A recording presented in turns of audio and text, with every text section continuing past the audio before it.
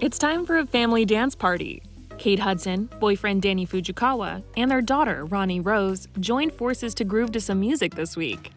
Kate put on an Al Green record as the two year old danced in her dad's arms, showing off her very best arm and elbow moves.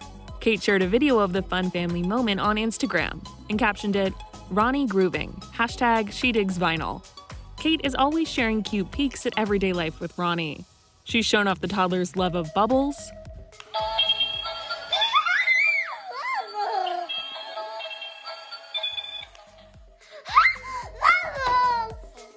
Rani is also a big fan of brushing her teeth.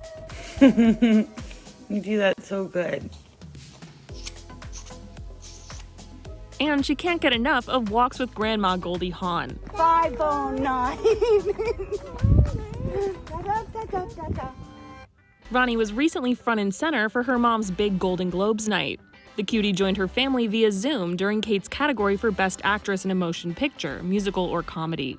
And although her mom didn't take home the award, Rani was cheery, clapping all the way through. Rani is Kate's youngest child. The actress also has two sons 17 year old Ryder and 9 year old Bingham. Back in 2019, months after Rani's birth, Kate told Access Hollywood that her boys were already smitten with their little sister.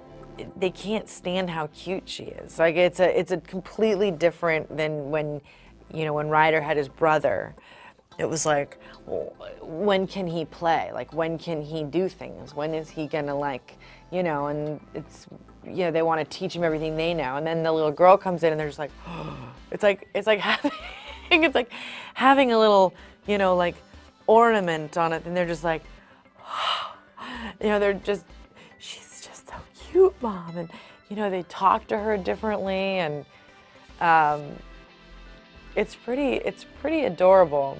It's, it's, it's interesting too because it's all energy, isn't it? So it's like gender, you know, you want to raise your kids to be gender. We don't know what she's going to identify as at, at, this point, right?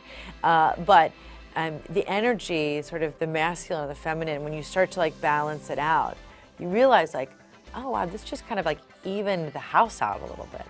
We got to like even out the energies. That's you know what I mean? That's that's that's the main thing that's happening right now. It's really amazing to to watch how her energy coming in is sort of like calming the boys.